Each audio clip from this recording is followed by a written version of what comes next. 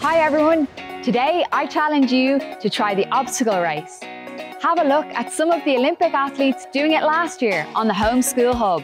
Okay, so this is the obstacle game. Get some cups at home, put them on a tray and fill them with water. Okay, it's very important that you get this balance right and try and get around an obstacle course you've set up in your house as quick as possible, okay? So you're keeping your balance. Mm. Stay concentrating throughout the whole course, nice and steady. Here we go, look at this. Not a drop spilled, look at that, nice and easy.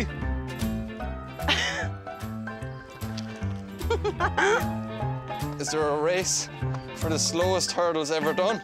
Knowing where your left hand and your right hand is, here we go. Here we go. Oh, I'm doing pretty good. Oh.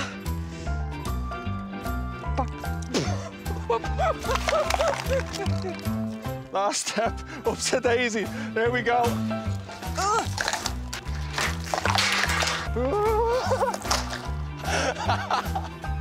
Not a hope. That's not how to do it. Do you think you can do it? What are you waiting for? This is a great warm up for the May Schools Challenge next week. So get going, get moving, get active.